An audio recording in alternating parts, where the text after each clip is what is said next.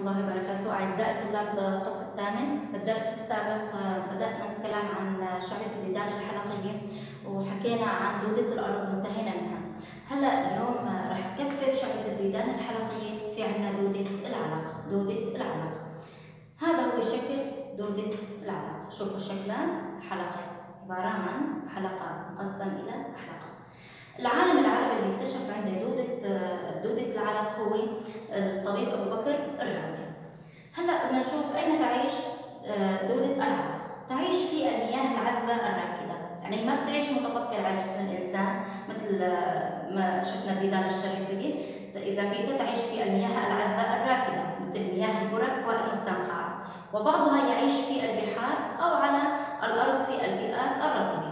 في البيئات الرطبة بتعيش أو ممكن في البحار أو البرك والمستنقعات بدي أشوف هلا بدي أتكلم عن الشكل الخارجي للعلق الجسم مقسم إلى 33 حلقة. جسمها مقسم إلى 33 حلقة. لها محجم أمامي من ناحية الفم ومحجم خلفي. في منتصف المحجم يوجد الفم ويكون الفم مزود بثلاثة فكوك. الفم هون مزود بثلاثة فكوك.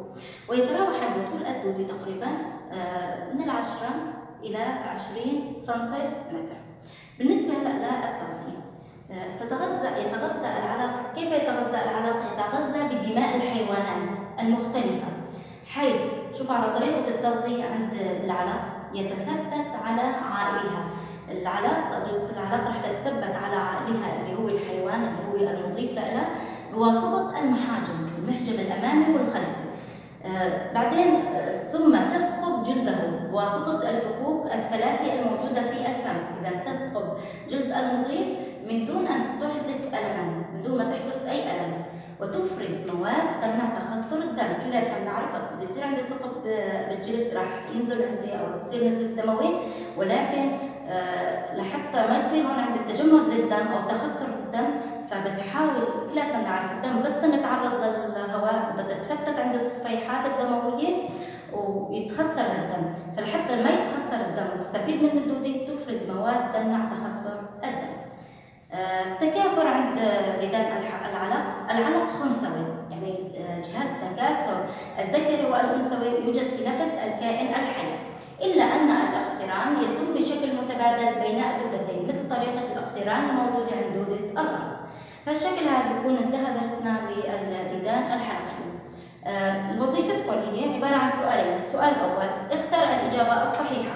يلاحظ في جسم دودة الأرض حلقات منتفخة تدعم الشرج البطن السرج الفم. آه، اثنين تصنف دودة العلق من الديدان المنبسطة الحبية الحلقية الشريطية السؤال الثاني أعطي تفسيرا علميا لكل مما يأتي. يعني هون عندكم السؤال علل ألف يسهم الدم في دودة الأرض في نقل الأكسجين. شو هو السبب؟ ب عدم تخثر الدم الذي تتغذى به ديدان العلق هلا هلا حكينا بالدرس شو السبب كمان فالشكل هذا بيكون انتهى درسنا.